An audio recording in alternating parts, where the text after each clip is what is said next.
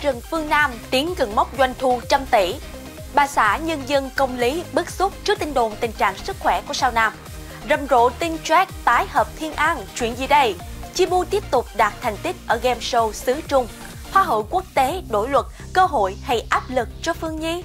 Mai Ngô nói gì khi bắt được hoa cưới của Thanh Hằng? Hà Trí Quang từng hứa hẹn điều gì với Thanh Đoàn? Xuân Ngọc xin chào tất cả quý vị đã quay trở lại cùng với chương trình giải trí iBiz và ngay bây giờ, chúng ta sẽ đến ngay với những tin tức giải trí hot nhất trong những giờ qua.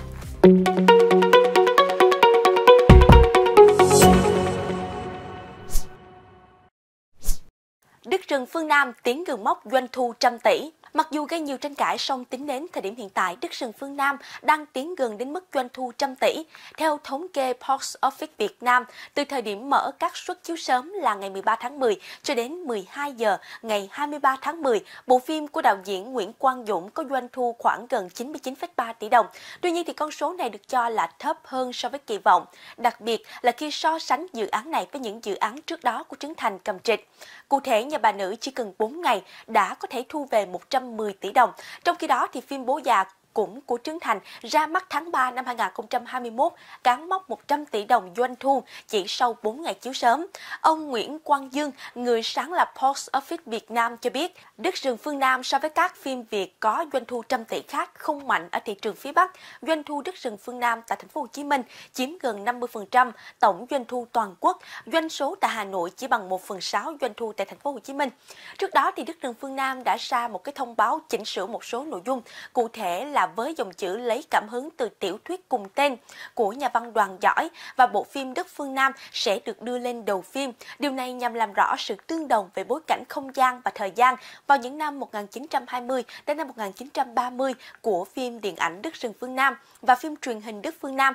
Bối cảnh này khác với bối cảnh không gian, thời gian của tiểu thuyết Đất Rừng Phương Nam của nhà văn đoàn giỏi vào năm 1945, bổ sung thêm nội dung cho câu giới thiệu hành trình vẫn còn phía trước thành hết phần 1, hành trình vẫn còn phía trước. Điều này nhằm làm rõ dự định của nhà sản xuất cho phần 2 kể về hành trình của nhân vật An trong tương lai. Trước đó thì ở buổi ra mắt đất rừng phương Nam, đạo diễn Nguyễn Quang Dũng cũng đã chia sẻ anh có nguyện vọng làm 3 phần cho dự án này. Đặc biệt điều chỉnh cụm từ Nghĩa Hòa Đoàn thành Nam Hòa Đoàn, Thiên Địa Hội thành Chính Nghĩa Hội trong tất cả các câu thoại liên quan tới hai cụm từ này trong phim điện ảnh Đất rừng phương Nam. Điều này nhằm khẳng định đây là những chi tiết hư cấu được lấy cảm hứng từ các sự kiện trong lịch sử. Bà xã, nghệ sĩ, nhân dân, công lý bức xúc trước tin đồn tình trạng sức khỏe của sao Nam. Suốt một thời gian dài vừa qua, nghệ sĩ nhân dân công lý đã được bà xã là chị Ngọc Hà chăm sóc nhiệt tình. Hiện tại tình trạng của sao Nam đã ổn định hơn, tuy nhiên thì vẫn chưa thể hoàn toàn bình phục. Gần đây thì như IBIS đưa tin, chị Ngọc Hà đã có chia sẻ nam nghệ sĩ nhân dân bị té tại nhà, mặc dù sau đó đã lên tiếng cho biết cô Đậu không bị ảnh hưởng sau cú té này, vậy mà đã có những thông tin sai lệch được tung ra. Cụ thể trên trang cá nhân, chị Ngọc Hà bức xúc bày tỏ, trời ơi, tại sao lại có thông tin về anh công lý như thế này chứ? Cách đây một tháng mình có chia sẻ anh Lý bị ngã trong nhà vệ sinh và có nhiều thông tin cho rằng anh Lý bị đột quỵ lần nữa là hoàn toàn sai sự thật. Anh Lý trong lúc tắm bị trượt chân ngã, chứ không phải bị đột quỵ lại như tin đồn trên. Hiện tại sức khỏe của anh Lý đang rất khỏe mạnh và tốt lên từng ngày. Hàng ngày, mình đăng clip về anh Lý được mọi người gửi lời chúc anh ấy cảm thấy rất hạnh phúc và rất vui. Bởi vậy, mọi người quan tâm anh nhiêu đó chính là động lực để anh Lý cố gắng nhiều hơn để quay trở lại với công việc và mong anh khỏe có những vai diễn đến gần gần hơn với khán giả nhiều hơn. Anh Lý là một người yêu nghề, luôn khao khát được trở lại với nghề. Vì sức khỏe nên hiện tại đành phải lui về ở ẩn một thời gian.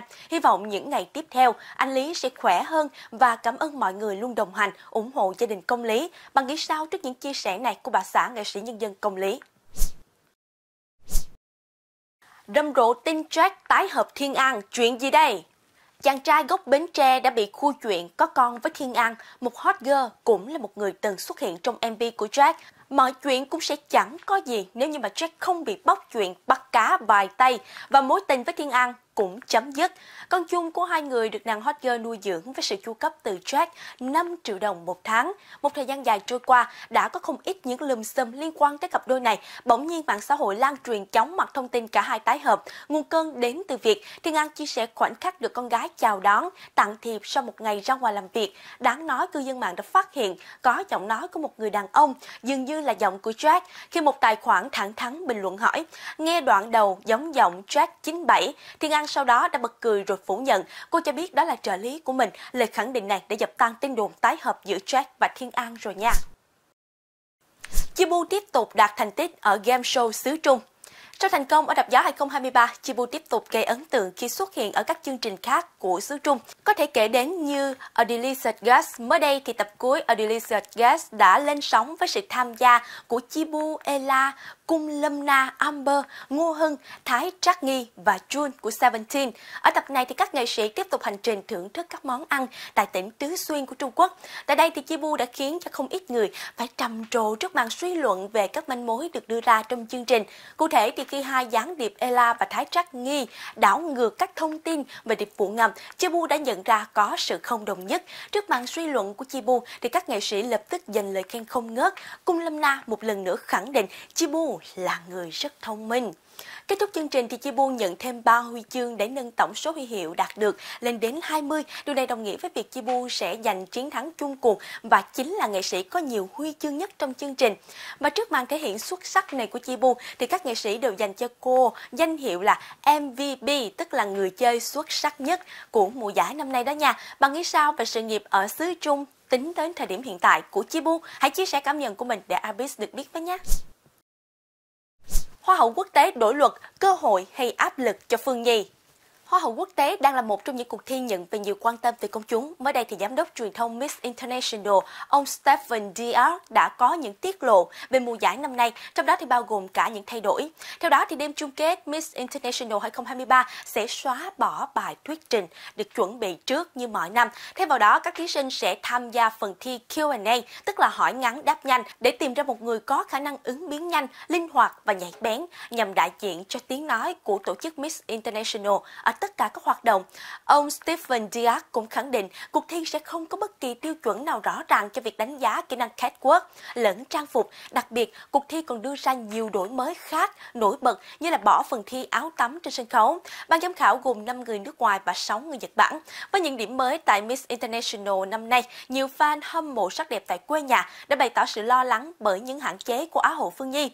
Tuy nhiên, số khác lại cho rằng sau thời gian được rèn luyện, Phương Nhi đã và đang thể hiện được bản thân mình một cách tốt nhất. Đặc biệt, cô nàng đã trưởng thành hơn rất nhiều. Từ đây thì giới mộ điệu sắc đẹp đã bày tỏ sự hy vọng người đẹp xứ Thanh sẽ mang thành tích tốt nhất về cho quê nhà. Bạn có dự đoán gì về thứ hạng của Phương Nhi ở dự án này hay chưa? Hãy để lại bình luận cùng với chúng tôi nha.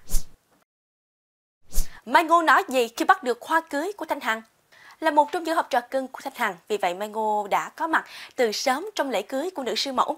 Tất nhiên là ở màn tung bông, Mai Ngô cũng đã có mặt với mong muốn là người may mắn cho chụp được bó bông từ tay cô dâu. Và rồi Mai Ngô đã trở thành nhân vật chiếm spotlight khi mà bắt được hoa cưới trong hôn lễ của Thanh Hằng.